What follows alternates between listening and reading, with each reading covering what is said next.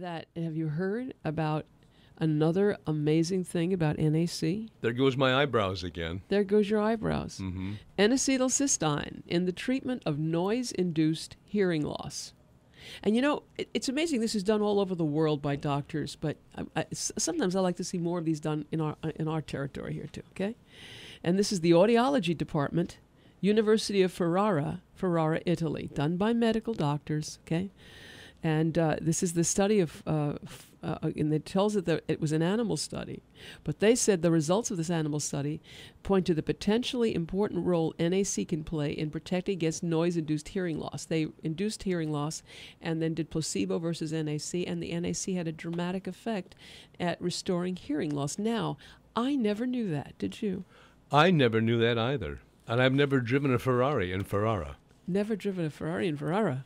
Never. The, Uh, you- well, you can't me Ferrara, there. Italy. Okay, and Caught a me there. Ferrari is a very, Very- prominent Italian sports car.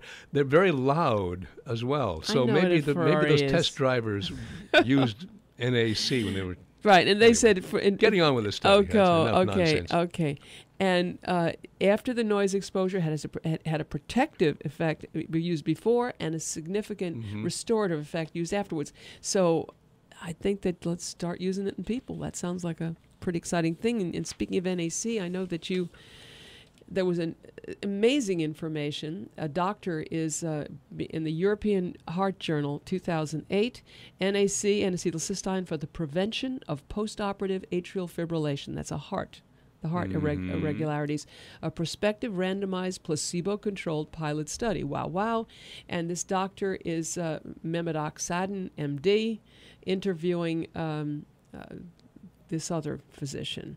And he says, What got you interested in studying the role of MAC, NAC and atrial fib in those undergoing bypass surgery? I'm just going to do a few bits of it. He says, Postoperative, after operation atrial fibrillation is associated with oxidative stress. Although it is used as a mucolytic agent, NAC shows antioxidant properties. I got interested in studying NAC and atrial fib in those undergoing coronary artery bypass graft surgery. I'm just going to cut cut to the chase here. They speculated that that this could be used as an antioxidant in this condition. Can you tell us about your study